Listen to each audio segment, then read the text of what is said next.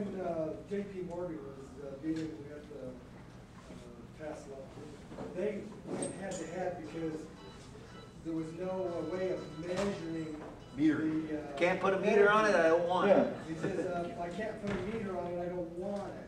Yeah, well, that wasn't his biggest problem at the, at the time. The problem was, is the fact that he couldn't control who was receiving it more than anything else, because he, he could make a contract with you, for instance, and you could sign it. But the, the biggest thing about JP Morgan and Tesla, from my reading so far, um, is that, um, JP Morgan owned all the power lines in the United States.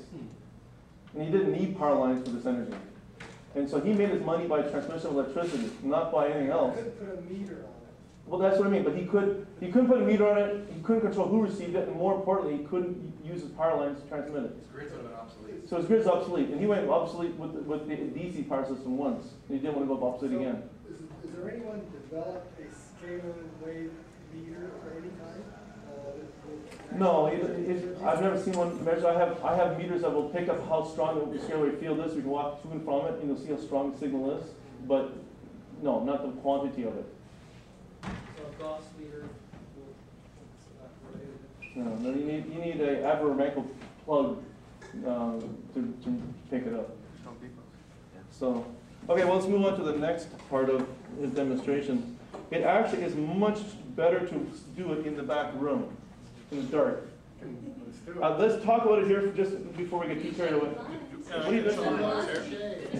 Why you unplugged it in here? Why did you plug that in?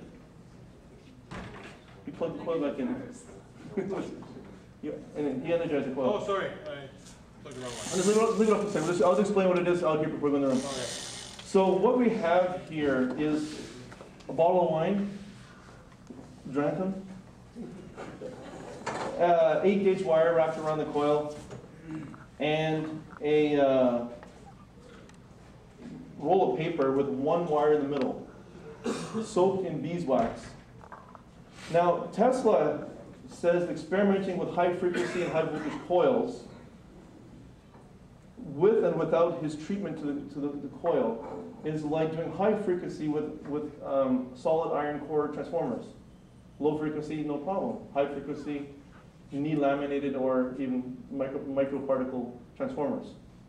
He said that if you were to experiment with this tech, um, coils and did not use his process to treat the coil, even if he built it exactly the way he said and did not treat it with his wax process, it would be like playing with this with a, sol- a high frequency with a solid um, iron core for high frequency, and you just don't get results. Now the funny thing about it is, is everybody does that. Nobody treats a coil. I've, in his book here, he went to uh, about a whole chapter on how to treat the coils. I'll summarize it into two steps. First step is to wind it in a paper form, and then don't use plastic, use paper that can absorb wax. Second step is to put it in a vacuum chamber, and he says, a moderate vacuum of 29 and a half inches. And I said, what? We live in 29.8 inches of standard uh, pressure. He's talking almost a space vacuum here. No, he said a moderate vacuum, when later, that was a good clue to later on when he says a hard vacuum, he's talking like vacuum. So he said a moderate vacuum, 29.5 inches of mercury. And then you heat the device up to at least one and a half times the melting point of the wax. And then you introduce liquid wax into the vacuum. And then, to make life just interesting, he said 30 psi pressure applied while it cools. Put 30 psi pressure onto the coil while you cool the wax. So I said, like, not only do you have to build the device that's going to be vacuum, got to heat it, now I've got to have it so it can handle pressure, 30 psi. You know, that's not exactly easy to do. Well, I've achieved it. Good old American pressure cooker. so, anyways, and I, and I had to get special vacuum pumps to pull out the vacuum. So, anyways, this is actually not made with that. This is a this one pre-ones. I was not at home with this um, before the conference started. I was actually down in Florida for a couple months. I uh, was working full time for this on this research, and then my funding got cut due to economics, and so I went and took a job in Florida temporarily here. And uh, so my stuff was up in Canada. Michelle, a good friend of mine, lives only three hours away. Went to my house, picked up all the stuff, and brought it down so we can show you guys. So I, I didn't get everything here. So Tesla talks about not only impregnating the secondary in wax, he said the primary is just as important. And this capacitors, he goes into a complete chapter saying the same basic thing, He says if you don't do it in vacuum, packing it, it is ineffective, up to 80% inefficient. He builds this coil here, and I have in the drawings here, he builds this coil here. It'll do a bigger, it'll make a 12 inch arc on 8 watts of power. That's less than an LED. Yeah.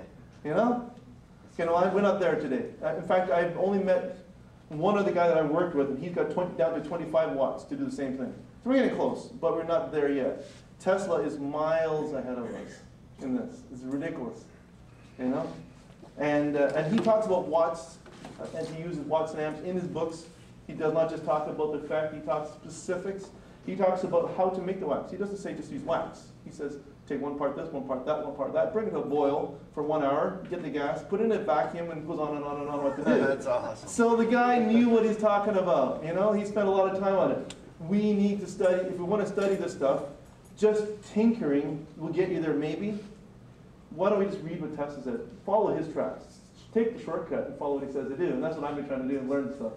And it's interesting. So what I got here is uh, two bathroom floats from you know 1940, 50 type vintage. There's a capacitor in the middle. So they are, it's a gigantic capacitor. I'll hold like this, my hand actually feels funny while it's running because the capacitance charge is noticeable.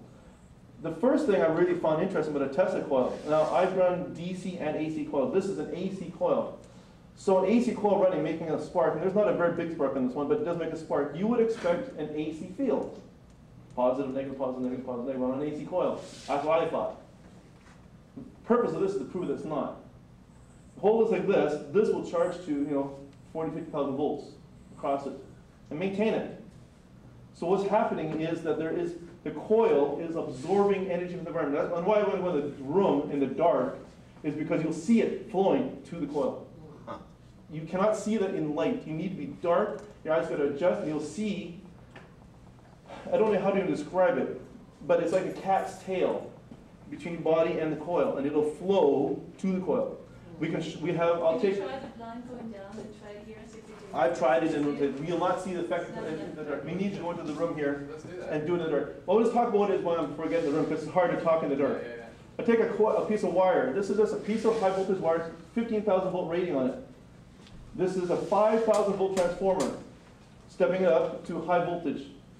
You'll see my hand glowing in the in, with the through the wire. There's the wire is not hooked up to the other end, and it'll draw sparks. So it's the, it's not completing the circuit to ground. This is completing the circuit to a piece of metal in the sky. Okay, so there, it's interesting how this works. How this works. The Crookes tube, right here, The last time we got it, will spin in vicinity of the coil. And there's no light. People talk about these being run on the sunlight, a lamp light. There is no light here. We can hardly see this thing running, and it will spin up in vicinity of this coil because the radiant energy particles are rushing to the coil. Not away, but to the coil. So you'll pick up the flow of it in it. Um,